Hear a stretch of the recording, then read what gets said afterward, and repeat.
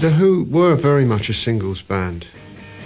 A whole string of, of uh, really quite rapid. In those days, you could turn, you could make singles about three months apart, four months apart.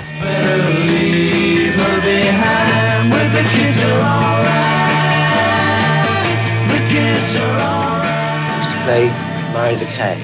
We used to do five shows a day then. So we used to do like one and a half minutes of Can't Explain and one and a half minutes of My Generation. Special guitar and run off. We do top of the pops, rush up, fly up to a concert, and rush back into the studio, record our latest single.